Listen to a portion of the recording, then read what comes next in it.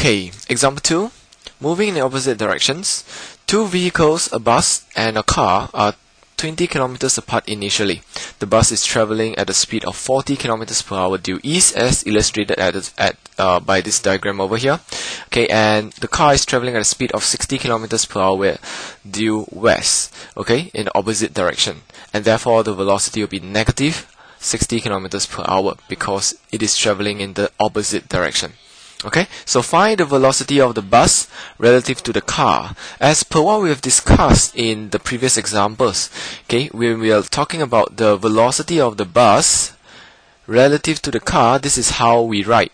Okay, the um, the notation for velocity of the bus relative to the car, which means that you are the car looking at the bus. Okay, so the formula goes a little like this: velocity of the bus relative to the car is equal to the velocity of the bus minus away the velocity of the car.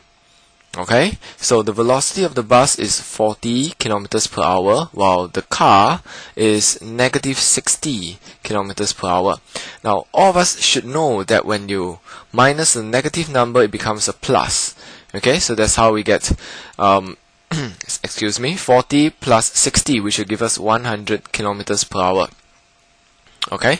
Now, of course, this is not to say that either of um, the vehicles are traveling at the speed of 100 kilometers per hour. It simply means that if you are in the car C, you're in the car, and uh, you are moving towards the bus, and the bus is move, moving towards you, so you will be seeing the bus traveling towards you at a speed, at a relative speed of 100 kilometers per hour. Okay, so let's go on to the next part of the question. Find the velocity of the car relative to the bus. Okay, which simply means find the velocity of the bus, uh, sorry, the car relative to the bus. Okay, so it's C, B. right, will be velocity of C minus the velocity of B. Okay, which in this case will become negative 60 minus 40. Of course, that will give us the answer of negative 100 kilometers per hour. Okay, again, what does this negative 100 kilometers per hour mean? Alright, of course, it doesn't mean that either of the vehicles are traveling at the speed of 100. It simply means that if you are in the bus, okay, moving forward, and you see this car moving towards you, okay, now you will be seeing the car moving towards you at a speed of 100 kilometers per hour. Okay, now it is negative because according to the bus, the car is moving in the negative direction. Okay, so in the positive direction, alright, and therefore the other direction this way will be negative. Okay, sorry, the arrow looks a little ugly there. Let me try to get it up properly. Okay, so here we go. Alright, in the opposite direction, it will be in negative. Okay, so this is what precisely what the bus will see, the car moving.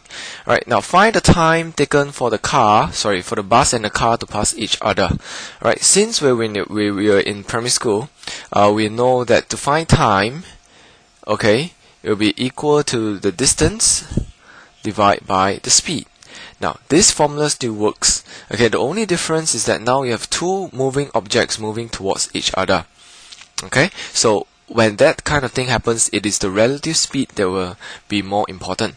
So to find the time whereby they will meet, you simply take the distance when they are apart, 20 kilometers, okay, divide by the relative speed of 100 kilometers per hour. Okay, now why take the relative speed and not why not take the speed of the car or, or the bus? Okay, well, it simply means, uh, simply is because you must understand that the 20 kilometers is not uh, stationary. Okay, or what I mean not stationary. This 20 kilometers is not um, static, meaning to say it's not just simply that the car is moving the 20 kilometers uh, distance. Okay, the car is moving the 20 kilometers distance at the same time the bus is also moving at uh, uh, the 20 kilometers distance. So the combined speed okay, will determine the time that they will meet. Okay, this is not the individual speed of the bus or the car. So in this case, from the uh, calculator, we get 0.2 hours. Okay, so which translated to become 12 minutes. Okay, so they will meet in 12 minutes.